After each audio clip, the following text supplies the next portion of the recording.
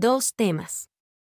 La semana pasada la dediqué, en estos pesos y contrapesos, al tema del propietarismo, que hoy, por el asunto de las afores, viene como anillo al dedo, primero de los dos temas. El segundo es la, como llamarla, desafortunada, equivocada, irreflexiva, afirmación de Claudia Seinbaum en torno al trabajo como condición del bienestar. Primer tema.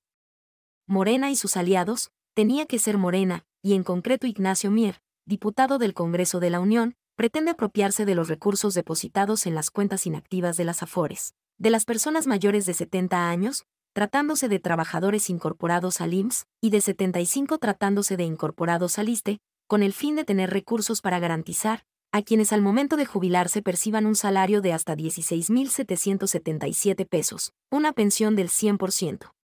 ¿De qué se trata?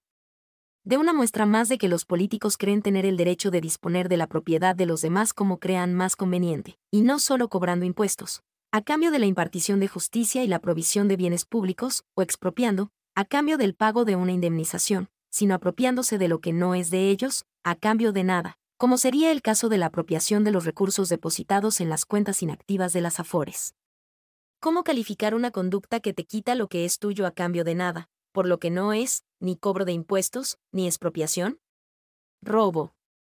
Lo que se pretende es redistribuir el ingreso, desde los propietarios de los recursos de las cuentas inactivas de las AFORES, hacia los pensionados que tendrían derecho, que en realidad sería privilegio, de jubilarse con el 100% de su último salario. Segundo tema.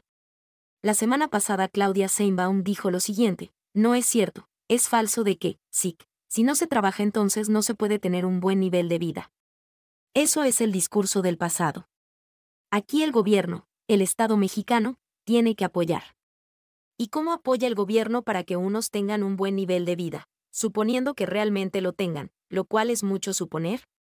Redistribuyendo el ingreso, generado por quienes sí trabajan, por lo cual, de un lado, tienes expoliados, a quienes se les quita cobrándoles impuestos con fines redistributivos, y por el otro mantenidos, a quienes se les da por medio de subsidios, gasto social. Alguien tiene que trabajar.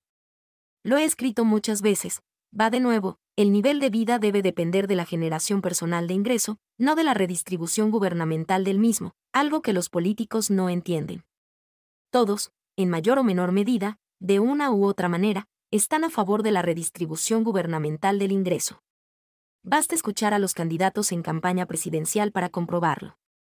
Del con un par de zapatos y 200 pesos en la bolsa es más que suficiente. De AMLO, al para vivir bien no hay que trabajar, el gobierno ayudará, de Seinbaum, pasamos de la mediocridad, no hace falta más, a la mendicidad. El gobierno proveerá.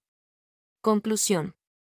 El gobierno quita lo que no debe quitar, en este caso los recursos depositados en las cuentas inactivas de las AFORES, que son propiedad privada, y da lo que no debe dar, en este caso satisfactores para vivir bien, que cada uno debería obtener por su cuenta, todo propio del Estado de Chueco, antítesis del Estado de Derecho. Arturo Arno presentó.